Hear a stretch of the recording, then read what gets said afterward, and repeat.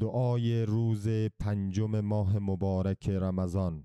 اللهم اجعلني فيه من المستغفرين واجعلني فيه من عبادك الصالحين القانتين واجعلني فيه من أوليائك المقربين برأفتك يا أرحم